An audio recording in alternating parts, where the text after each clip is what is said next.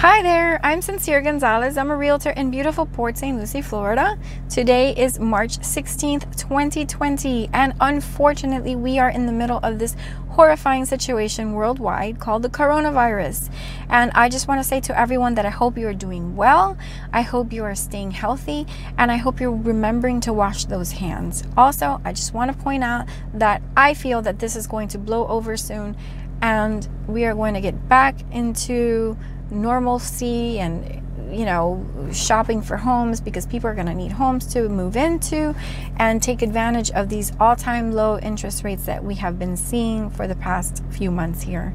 All right so this video is moving to Florida. I have compiled some information that should prove to be helpful for people that are considering moving to Florida. All right, we're going to talk about why so many people move here. We're going to talk about what areas might be right for you and your family. And we are going to talk about when you're ready to buy a home, where do you start? What is the process? So, okay, the first thing, why do people move here? Well, first of all, the weather is amazing. Winters are beautiful. When everybody else is knee deep in snow, we are experiencing weather like this outside today. It's really pretty. It's really satisfying to live in Florida and be outside and get some sunshine. And it's just good for your health, good for your mood. And there's a lot of outdoor activities that you can do with your family and pretty much never ever be bored. All right, so yeah, there Disney Disney World is another big reason.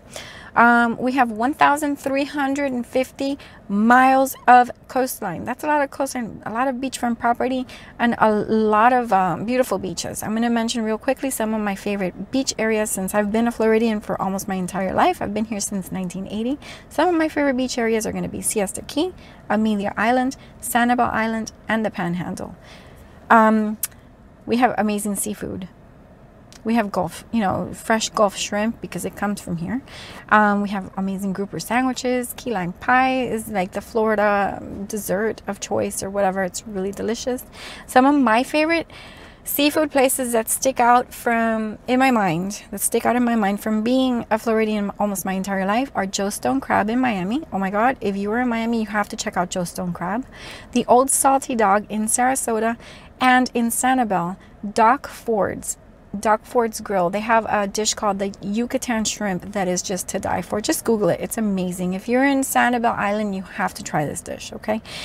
Have you tried it before? Comment down below. Also, if you know the season for the stone crab in Joe's Stone Crab in Miami, please comment down below. That would be super helpful for everybody to know because it is seasonal. If you show up there and it's not stone crab season, it, they probably won't even be open. But anyway, another reason why people want to live in Florida is you know we we're the capital of like roller coasters i think like uh, disney world disney parks animal kingdom SeaWorld, Islands of Adventure, Busch Gardens, just to name a few of the many roller coasters. So if you have children, I mean, that's a really fun place to live um, where you could take a day trip or a weekend trip and, and really provide entertainment for your children. It's really cool. Um, a lot of outdoor activities that you can do pretty much anywhere in Florida. You could go, you mean water skiing, sailing, golf, fishing, all kinds of things that you could do outdoors any day of the year. Okay, so there are some cons. Okay, so it gets hot in the summer. We all know that. It's Florida. Um, we are the third most populous state. So there's some traffic to deal with you know, especially snowbird season, which is November through April. A lot of snowbirds come to Florida and traffic increases big time. But you know what? It's something that you trade off uh, for being in weather like this year round, right? And sometimes we have to deal with hurricanes. Hurricanes, you know, there's nothing good about a hurricane, but I guess if there's one thing is that you get enough time to prepare. You get um, in Port. Lucie in particular, most of the homes are newer, so they're all equipped with um, hurricane shutters and we're really kind of ready and it's it's something that you eventually get used to. So why Port St. Lucie? Well, I'm a realtor in Port St. Lucie and I came from Miami in 2003, so I chose Port St. Lucie because of its location, because it has pretty beaches, because you know you could take cool day trips everywhere from from this location. Um, home prices have always been lower than other places around the country, and the crime rate is pretty low. Also, Port St. Lucie is kind of like an up and coming place, so it is one of the reasons I selected Port St. Lucie as my residence area. Uh, I did a previous video entitled Five Reasons Why You Should Consider Living in Port St. Lucie, Florida, and I'm going to put it up here for you. Okay, so when you're done watching this one, you could go check that one out. It goes a little bit more into detail. All right, so um, median home prices in Florida. I'm going to go quickly over this. Miami, median home price is 366. Tampa, 245. Orlando 257 and Port St. Lucie is the lowest at 234. You really do get a lot of bang for your buck when you're buying a house um, in Port St. Lucie, Florida. All right, so what should you do if you're ready to buy a house? First thing you should do is find a realtor. You need to do some research, you know, check out their reviews on Google, check out their YouTube channel, check out their Instagram, their Facebook, you know, make sure that they're really experienced and that they're going to do a good job for you. You want to work with someone that knows what they're doing. Um, the realtor is we're going to take you to phone call number two. The first, the second thing you should do after selecting an agent that you're going to work with is, I mean, they're going to provide you with the name of a trusted local expert lender. It's very important to have a good lender as much as it is to have a good realtor because I mean, it's like a team that you work with that ultimately gets you what you want, which is the house of your dreams for you know the right price and the right terms and everything. Um, that lender is gonna you're gonna have a very important conversation with that lender. They're gonna tell you how much you can afford um, what you can expect to pay at closing for you know for your closing costs and um, you know what the interest rate is going to be what your mortgage payment is going to be. You know you want to make sure you have a good long conversation with them and they're really going to um, point you in the right direction and give you that pre-approval letter okay? So once you have that pre-approval letter you go back to your agent your realtor and you tell them about what you want to find in a home. What is important to you and your family? You know is it three bedrooms four bedrooms? Do you want a pool what is it that you're looking for? Once um, you tell your agent what you're looking for they're going to set you up with alerts right? So every time a house comes on the market with your criteria it's going to go straight to your email. And then you tell your agent yes i love this house i want to see it or no i don't like this or i like you know you give them your agent a really good idea of what it is that you're looking looking for. Um, also, you're going to want to do research on your own. You're going to go on Zillow.com, Realtor.com, and whenever you see a house that you really love, you send that house to your agent and they can add it to your list of homes that you want to see when you're in the area. Um, and if it's already sold, because sometimes that's what happens, at least it gives your agent a really good idea of what you're looking for. So, by all means, send any research you find, any house that you find that you like, you send that to your agent and that will be good in the end to give them an idea of what it is that you're looking for. All right.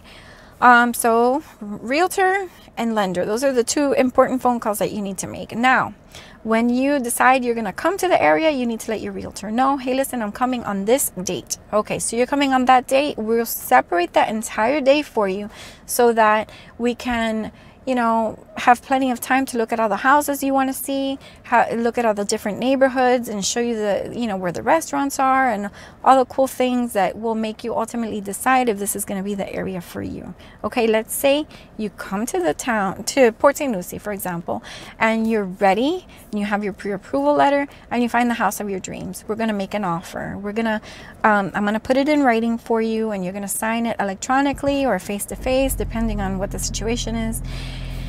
And, um, you know, if it's a hot house in a hot market, there is going to be multiple offers. That is where having an experienced agent is going to be super important. Um, I have personally won many multiple offer situations. Your agent, if your agent is experienced, your agent is going to help you with some tricks and different ideas going to help you stand out against the competitors and ultimately win. Usually, when it's a multiple offer situation, I win. so, um, anyway, find somebody good that is going to work for you, somebody experienced, because you know it's kind of sad when you have your heart set on a house and then you lose to multiple offers. But anyway, I mean, it does happen even to me sometimes. So it's it's just part of the process. All right, so that um, lender is going to tell you what you can afford so that you're not searching for homes in the wrong price range. Let's say you're searching for homes in the $300,000 price range and you can really only afford 200,000. You know, you want to make sure that you have spoken to your lender and you are sure of what you can afford so that you can ultimately find a house in the right price range. All right, anyway. So you call your realtor, you let them know you're coming, and they'll, you know, set aside time for you.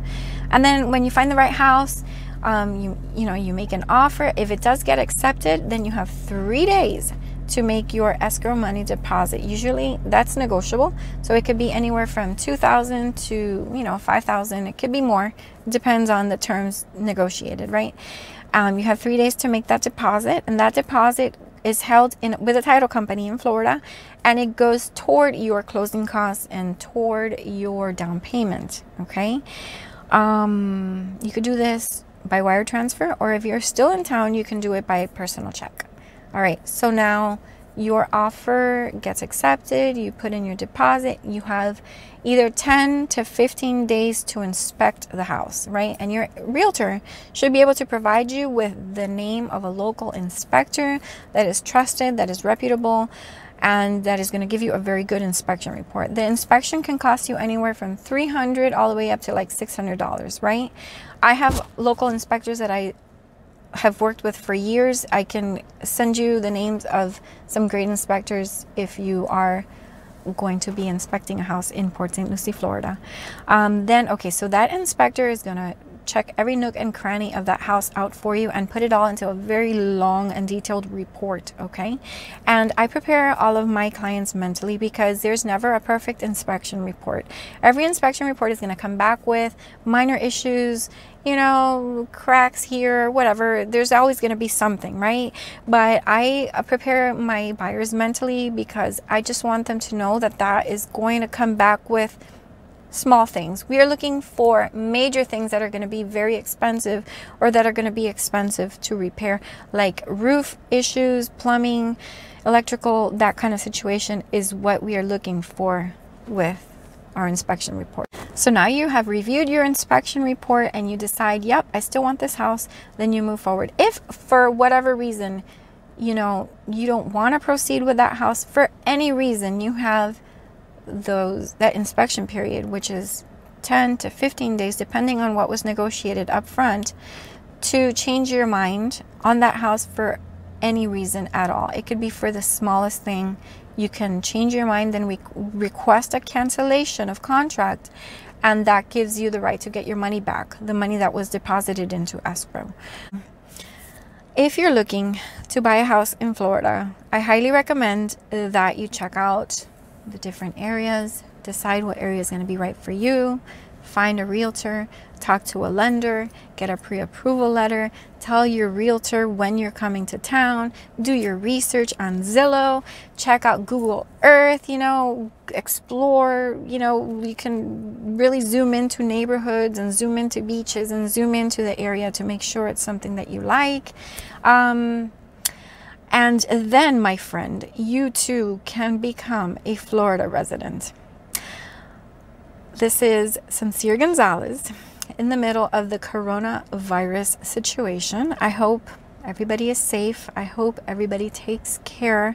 And I hope that when you are ready to buy a house in Florida, you call me at 772 200 9112. I am going to leave the links to all the amazing seafood restaurants, beaches, and different things that I mentioned in this video down below for you. If you have any questions at all, please feel free to call me. I think I already said it, but I'll say it again 772 200 9112.